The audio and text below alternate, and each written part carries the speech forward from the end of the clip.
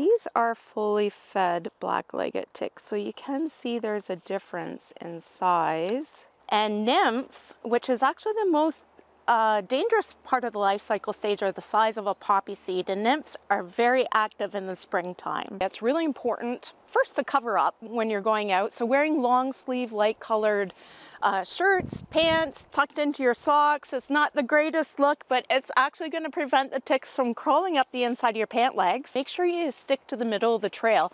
Black-legged ticks love to hang out on the vegetation along the side of trails. What they do is they actually wait there for a passing meal. And what they do is they actually attach themselves, climb up to a nice quiet location where they can attach and feed anywhere up to five to seven days.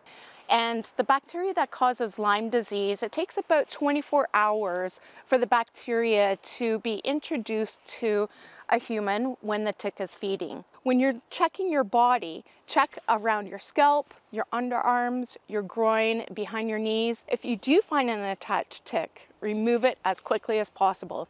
So this could be using tweezers, to remove the tick from your skin, there is a website called etick.ca where you can take a picture of the tick and upload it and they will identify it.